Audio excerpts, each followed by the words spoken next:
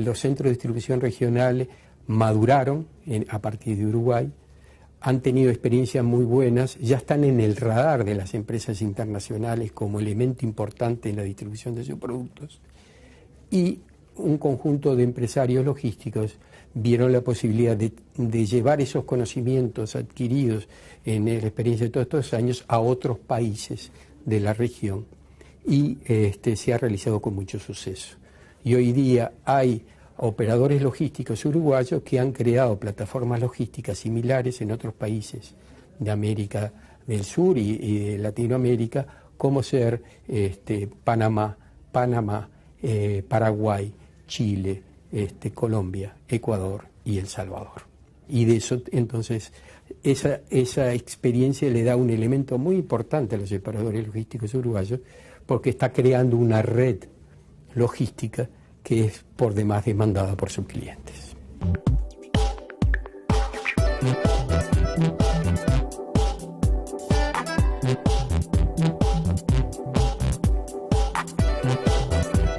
ir ampliando la oferta. Ya no sale solo el, pedazo de carne de Uruguay o la, leche en polvo, ese tipo de, productos tradicionales, sino que sale un conjunto de personas que dicen nosotros somos uruguayos y, tenemos una, una eh, experiencia adquirida, un conocimiento adquirido en determinado tipo de, intangibles, como por ejemplo el, manejo de la logística, el manejo de un centro de distribución y ese tipo de, cosas que, también generan riqueza para el país, ¿no? Así es. Eh, Está bueno, porque los uruguayos en realidad no lo saben, ¿no? Pero una de las cosas que decía Carriquiri, que estábamos comentando recién, es que justamente más de la mitad de las mercaderías que pasan por Uruguay no son del Uruguay.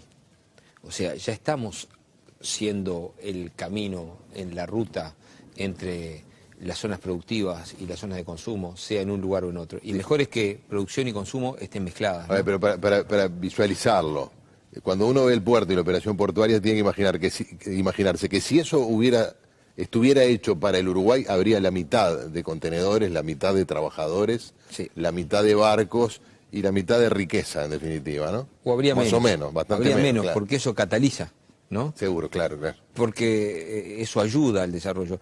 Pero digamos que si uno dijera, de hoy para mañana, por algún motivo que cambió una legislación internacional o le apareció la reserva de carga o alguna cosa, el código danero, este, dicen, no hay más motivo para pasar por Uruguay, bueno, verían la mitad de los contenedores que ven hoy. No la mitad, venían menos de la mitad, porque el año pasado fue 54%.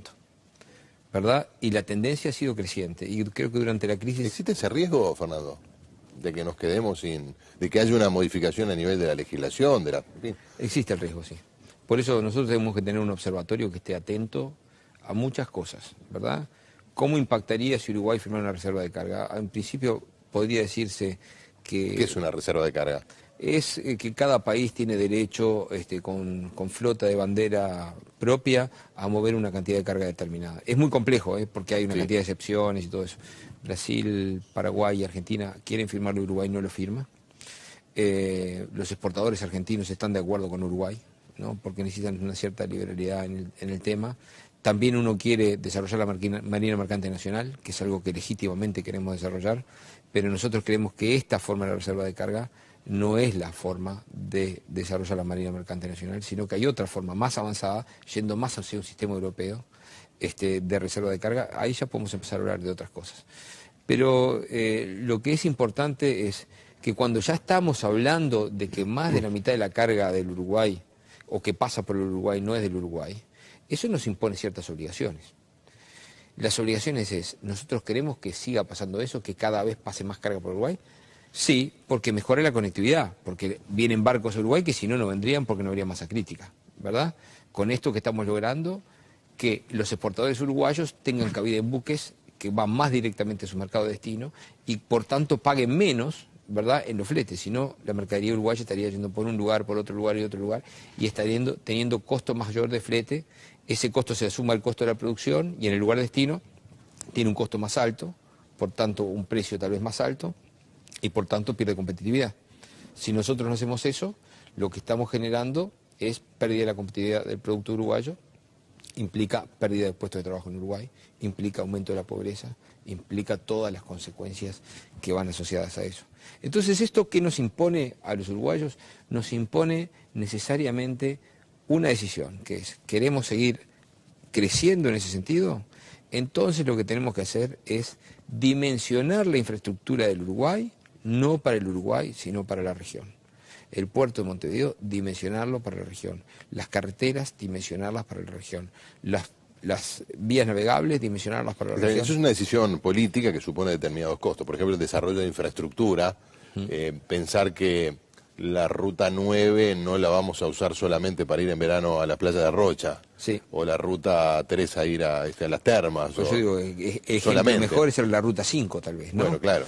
Este, pero también las ferrovías, muy importantes, ¿eh? muy importantes sobre todo en el desarrollo este, que está teniendo el movimiento de carga, la ferrovía va a tener- tomar un rol cada vez más importante. Esto no quiere decir que nos olvidemos del Pero en eso venimos camioneros. bastante atrasados, ¿no? Venimos atrasados, hubo varias dificultades para ello. No olvidemos que hubo una política sistemática de ir dejando morir las ferrovías en Uruguay. Bueno, después hubo una tendencia internacional a, recuperarlas y bueno, este gobierno intentó eh, pero a empezar a reconstruirlas, pero en la reconstrucción se encontró con muchas dificultades. Se pueden cometer errores, pero la decisión política existe y yo creo que esa decisión política va a pasar a ser una política de Estado porque el nuevo gobierno que asuma, sea del corte que sea, ya se dio cuenta que la ferrovía es importante. Yo no quiero pincharte el globo, pero es relativamente sencillo elegir entre eh, eh, manejar más carga o menos carga. Todos vamos a decir, no, es preferible manejar más carga, ¿no? Eso Sí. parece sencillo. Incluso para que se pongan de acuerdo los partidos políticos, aún en, en- en año electoral, en campaña electoral, están todos buscando diferenciarse del competidor. Pero luego hay que hacer otras cosas que ya son más complicadas porque podés estar tocando eh, algunos intereses. Por ejemplo, el sistema educativo tiene también que cumplir un rol central, donde probablemente lo que haya que haya que cambiar el énfasis, quizás, ¿no? Supongo yo, eh, no tanto en, un tipo de, educación eh, vinculada al, cultivo de las, de, las humanidades, ¿no? De las ciencias humanas o de la disciplina de ese tipo, que todavía me da la impresión que tiene la- el sistema educativo uruguayo, sino in- incluir otro tipo de, asuntos, la matemática, las ciencias, el sentido de la eficiencia, ese tipo de cosas que, quizás también nos, nos ayuden a cambiar.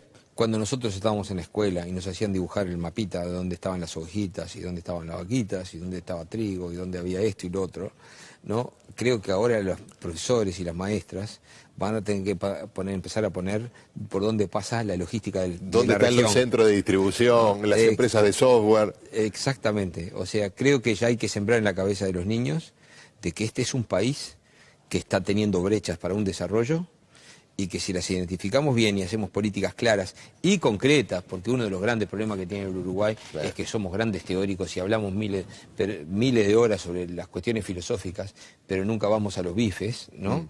Este, creo que también es importante este, empezar a sembrar en la cabeza de los niños las nuevas ventanas de desarrollo que tiene el país. Eso es muy importante. No todos los niños tienen que saber que, que Uruguay es un país, el país que más produce software en toda América Latina. Y que en una época incluso produjo más software que el resto de América Latina junta. ¿no? ¿Por qué? Porque eso hace que el niño también esté orgulloso de eso y que a la vez, a su vez, sea un emprendedor en el tema software. ¿no? A uno le, impresiona. Yo un quería ser astronauta cuando era niño. bueno, ¿no? sí, claro, yo no también, me salió. Porque, porque tú vos estuviste más cerca que yo. Pero, eh, sí, eh, probablemente eh, signifique también el hecho de que los niños quieran ser emprendedores. Sí. Eso ya va a ser un cambio revolucionario para, para Yo- el sistema educativo uruguayo, ¿no? Yo estuve en Uruguay hace 20 años, ¿verdad? Me fui. Hace 21 años me fui y volví hace 4. Y, y yo creo que, y he venido sistemáticamente, creo que ha habido un cambio sustantivo en la mentalidad del uruguayo. Para bien, para bien. Uruguay era un país bastante deprimido, en realidad, donde todas las cosas que hablábamos eran cuestiones tristes, era todo malo. Nada se podía hacer, éramos pocos, éramos pobres y...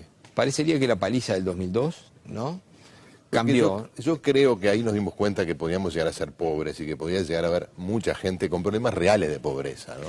Sí. Y al mismo tiempo empezamos por eso mismo a descubrir que teníamos unas cuantas riquezas o, Sí. o algunas minas, tú ahora que estás trabajando en minería, este, solo que no sabíamos, no teníamos el plano para, para llegar hasta ella, ¿no? Creo que eso eh, despierta ingenio en casi todos los países del mundo donde hay crisis profundas. Este, eso además despierta una cantidad de, de cosas, permite el ordenamiento, permite abrir nuevas puertas.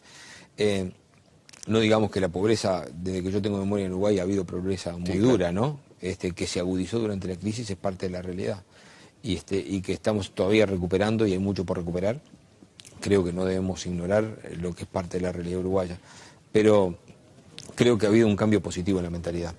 Pero también tiene que haber un cambio generacional en, en la conducción política en general y ojalá que después que pasen estas elecciones se piense mucho. Eh, yo creo que este gobierno un poco ya lo hizo y otros gobiernos anteriores también particularmente trataron de hacer un cambio generacional, porque creo, esto es políticamente pienso, ¿eh?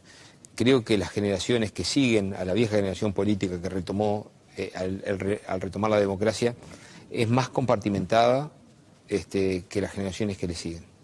Y eso, la descompartimentación dentro del sistema político, este, favorece realmente la generación de políticas de Estado. Eso me parece que es bastante importante. Ojalá que se dé eso, ojalá que, los nuevos conductores políticos del país tengan esa sabiduría. Creo que se ha estado dando también durante este gobierno. Yo pienso que en la red de empresas públicas nosotros nos sentíamos muy bien trabajando juntos. es un tipo de eh, de innovación que no tiene marcha atrás. Eh. Cualquiera sea el gobierno que venga va a tener que trabajar en torno a, un, tipo de trabajo similar al que ustedes inauguraron, ¿no? Sí, sí, yo creo que, no quedaba otra. No se puede pensar en un desarrollo portuario sin pensar en un desarrollo energético, sin pensar en un desarrollo de telecomunicaciones, sin pensar en un desarrollo de, bueno, de, de agua, etcétera. Estas cosas están todas interconectadas y hay que hacerlas juntos, hay que hacer el mapa productivo nacional, hay que hacer el mapa productivo regional, de hecho ya se está haciendo, ¿no? Y hay que ver cuál es la infraestructura necesaria para todo eso. Todo eso es uno de los desafíos más lindos. Fernando, ha sido un gusto conversar contigo. Eh, bueno, y, por suerte te, vamos a seguir teniendo aquí en el Uruguay, ¿no? Porque ya no estás más en la administración pública, pero estás en una empresa extranjera, pero trabajando aquí en el país. Efectivamente, la verdad que es un, un emprendimiento que, que se dedica a la minería, que busca hierro en Valentines este, que primero hay que ver si hay masa crítica, porque si no hay masa crítica y con un producto tan barato, entonces de pronto no justifica nada. Pero si llegara a haber masa crítica, puede ser uno de esos proyectos transformadores del país. Mira, bueno, gracias, ¿eh? Bueno, gracias, a ustedes por estar allí. En siete días nos vamos a reencontrar en el futuro recién. Muchas gracias.